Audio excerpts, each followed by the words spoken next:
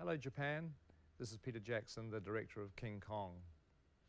For many years before I made The Lord of the Rings, I was a huge fan of King Kong. The original 1933 movie inspired me to want to become a filmmaker when I saw it when I was nine years old, and it led to a lifelong passion in filmmaking. And finally, I've had the amazing opportunity to remake my favorite film, King Kong.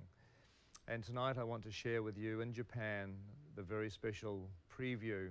It's the first trailer of our version of King Kong. So please sit back and I hope you enjoy it.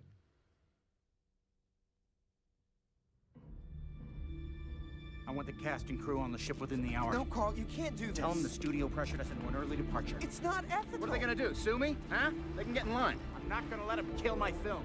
We have three hours to find a new leading lady, or we're finished. There are thousands of actresses out of work in this city. Somewhere out there is a woman born to play this role.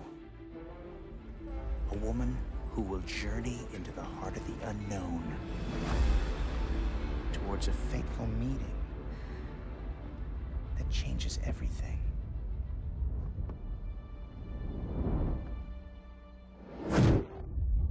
I've come into possession of a map. An uncharted island. A place thought to exist only a myth. Wall! There's a wall ahead!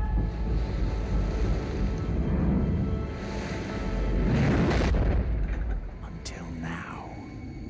That's where I'm gonna shoot my picture. You're feeling uneasy, Ann.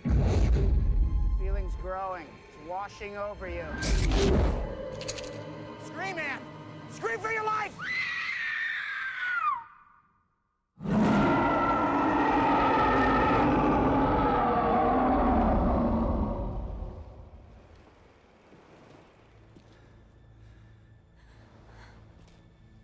Herb, get the camera.